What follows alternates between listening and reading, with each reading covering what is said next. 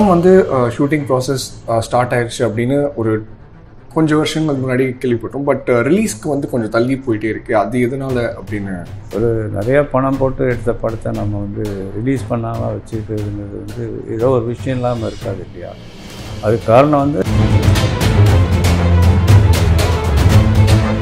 We are இந்த process of Anirudh sing அவர் பாடிடுவார் இன்னும் ரெண்டு மூணு நாளில். அது பாடினோன்னா அந்த சாங்கை ரிலீஸ் பண்ணிவிட்டு ஆடியோ ரிலீஸ்க்கு பெருசாக பிளான் பண்ணிட்டு இருக்காங்க. இன்னொரு ஒரு ஃபேன்ஸோட ஒரு கொஷின் என்ன அப்படின்னு பார்த்தீங்கன்னா அந்தகன் ரிலீஸ் ஆனதுக்கப்புறம் பிரசாந்த் சாரோட மேரேஜ் டாக்ஸ் ஏதாச்சும் இருக்குமா. பண்ணி தான் ஆகணும். ஏன்னா இட்ஸ் லாங் டைம் மியூசிக் பற்றி பேசும்போது சந்தோஷ் நாராயணன் சார் ஒர்க் பண்ணியிருக்காரு. மியூசிக் பேக்ரவுண்ட் இந்த படத்துக்கு எவ்வளோ என்ஹான்ஸ் பண்ணியிருக்குன்னு நினைக்கிறேன் பண்ணியிருக்கு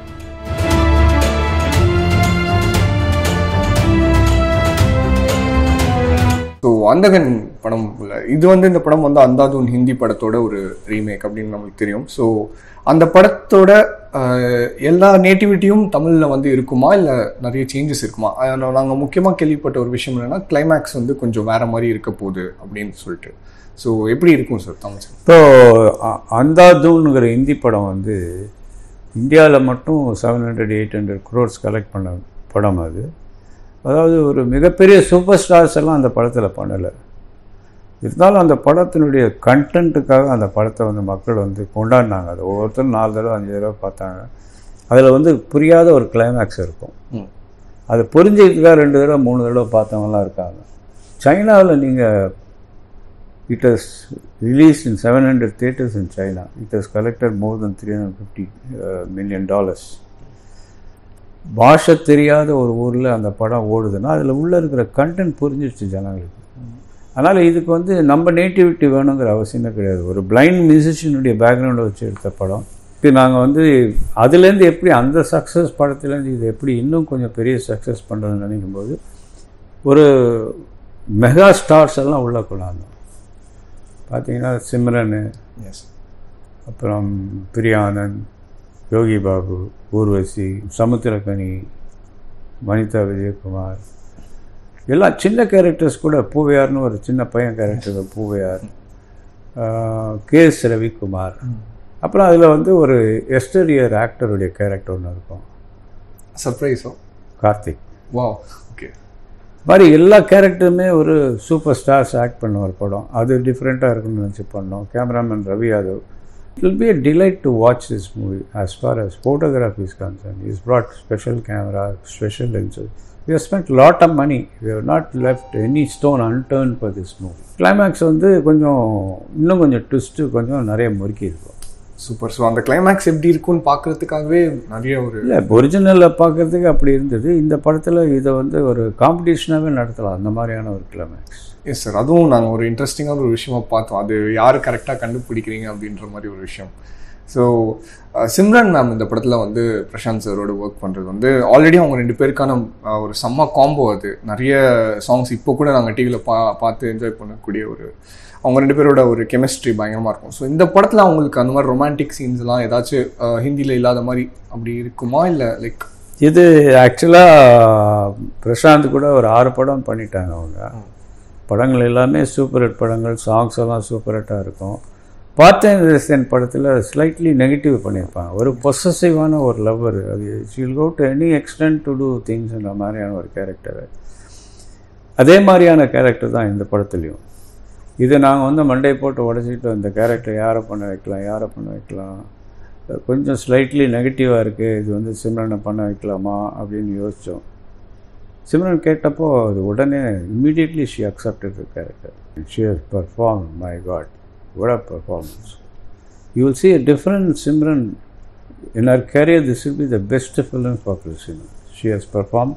We made her act so இந்த படத்தில் வந்து கலைப்புலி தானு சார் வந்து படத்தை வந்து டிஸ்ட்ரிபியூஷன் ரிலீஸ் பண்ணுறாரு அப்படின்ற மாதிரி கேள்விப்பட்டோம். ஸோ படம் வந்து ஷூட்டிங் ப்ராசஸ் ஸ்டார்ட் ஆயிடுச்சு அப்படின்னு ஒரு கொஞ்சம் வருஷங்களுக்கு முன்னாடி கேள்விப்பட்டோம். பட் ரிலீஸ்க்கு uh, வந்து கொஞ்சம் தள்ளி போயிட்டே இருக்குது அது எதனால் அப்படின்னு தெரிஞ்சுக்கலாமா சார் இப்போது பிரசாந்தனுடைய ப்ரீவியஸ் படங்கள் பார்த்தீங்கன்னா ஜானின்னு ஒரு படம் சாகசம்னு ஒரு மிகப்பெரிய படம் இந்த தமிழனுடைய மியூசிக்கில் சூப்பர் ஹிட் சாங்ஸ் அதே மாதிரி மம்பட்டியான் இதெல்லாம் வந்து பப்ளிசிட்டியே இல்லாமல் இப்போ பொன்னசங்கர் பார்த்தீங்கன்னா ஃபைவ் இயர்ஸ் ஸ்ட்ரகிள் பண்ணி பண்ண படம்.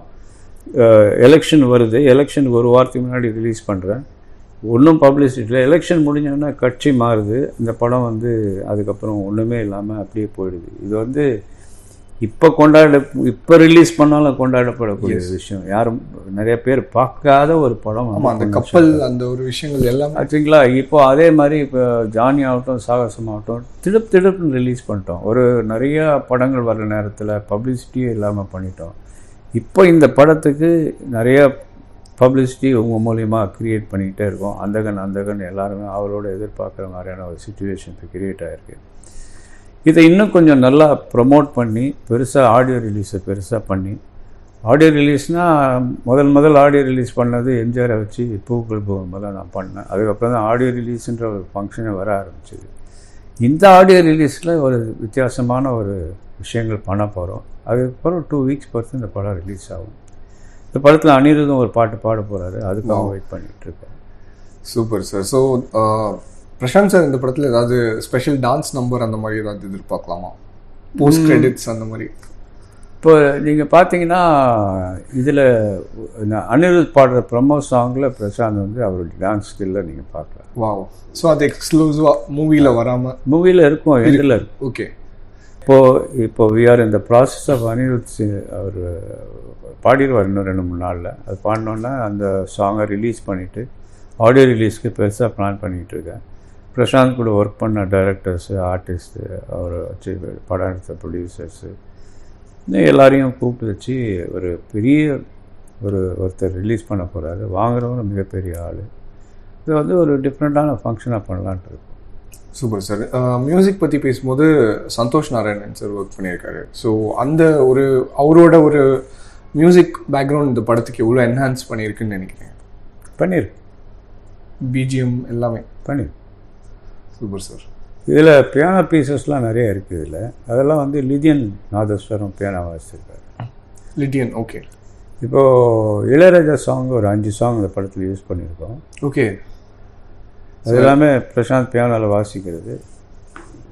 பிரசாந்தும் அவரே வாசித்ததும் இருக்குது லிதியன் வாசித்ததும் இருக்குது அமேசிங் சார் ஒரு மியூசிக்கல் ட்ரீட்டாக இப்போ இருக்கிறதுக்கு நிறைய வாய்ப்பு இருக்கு. சூப்பர் சார் இன்னொரு ஒரு ஃபேன்ஸோட ஒரு கொஷின் என்ன அப்படின்னு பார்த்தீங்கன்னா அந்தகன் ரிலீஸ் ஆனதுக்கப்புறம் பிரசாந்த் சாரோட மேரேஜ் டாக்ஸ் ஏதாச்சும் இருக்குமா அப்படி பண்ணி தான் ஆகணும். ஏன்னா இட்ஸ் லாங் டைம் இது ஒவ்வொரு படம் ரிலீஸ் ஆகிற டைம்லேயும் இந்த இப்போ இது முடிஞ்சதும் பண்ணிக்கலாம். எனக்கு படங்கள் ஹிட் ஆகட்டும் அப்புறம் பண்ணிக்கலாம். அப்படி இருந்துட்டார். ஆனால் இப்போ இட்ஸ் டைம் அது ஃபாதர் எனக்கும் அந்த ஃபீலிங் இருந்துகிட்டே இருக்குது பண்ணணும்னு அதனால் அலையன்ஸ் தேடிக்கிட்டே இருக்கோம் சைடில் நல்ல அலையன்ஸ் கிடச்சதுன்னா நாளைக்கு கூட கல்யாணம் sir.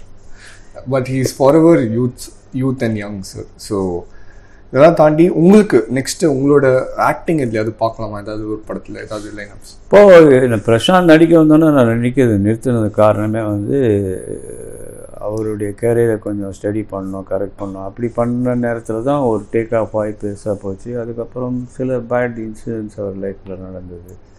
சில படங்களெல்லாம் லெங்க்தியான டைம் எடுத்து பண்ணாது. அதெல்லாம் இல்லாமல் இனிமேல் கண்டினியூஸாக அவருக்கு வந்து ஒன் நாற்பது படங்கள் வந்து வருஷத்துக்கு மூணு நாலு படங்கள் கண்டிப்பாக இருக்கும். எல்லாமே பெரிய படங்களாக பேன் இந்தியா படங்களாக முதல் முதல் பேன் இந்தியா ஸ்டார் பிரசாந்த் தான். எஸ் அவருடைய படங்கள் எல்லா லாங்குவேஜ்லையுமே ரிலீஸ் ஆன ஒரு ஆர்டிஸ்ட்டு இனிமேல் அவருடைய படங்கள் எல்லாம் பெரிய லெவலில் இருக்கும். பெரிய டைரக்டர்ஸு இந்த மாதிரி அமேசிங் சார் சார் நீங்கள் ரீசெண்டாக வந்து பார்த்து என்ஜாய் பண்ண ஒரு ஃபிலிம் ஒரு ஆக்டர் அந்த மாதிரி யாராச்சும் இருக்காங்க இந்த ஜென்ரேஷனில் இப்போ இருக்கக்கூடிய ப்ராமிசிங்கான ஒரு டைரக்டர் ஆக்டர் அந்த மாதிரி யாராச்சும் என்னுடைய கான்சன்ட்ரேஷன் ஃபுல்லாகவே பிரசாந்துடைய படங்கள் இருந்ததுனால நான் நிறைய படங்கள் பார்க்கல. ஆ. அதனால் எனக்கு அந்த சைடு திங்க் பண்ண தோணலை. ஓகே பிரசாந்த் சார் வந்து இப்போ இந்த டைரக்டரோட கொலாபரேட் பண்ணால் நல்ல ஒரு இதுவாக இருக்கும் அந்த மாதிரி ஏதாச்சும்? அப்படின்னு இல்லை. இப்போ எல்லாருமே டேலண்டான டைரக்டர்ஸ் தான். இப்போது டைரக்டர்ஸை விட அவர் கொடுக்குற கத்தி அவர் வச்சுருக்க பிஸ்டல் ஸ்ட்ராங்காக இருக்கணும். கண்டென்ட் கரெக்டாக இருந்தால் எந்த டைரக்டர் வேணாலும் ப்ரொமோட் பண்ணிடலாம். இது எப்போ சக்சீட் ஆகும்னே சொல்ல முடியாது இல்லையா?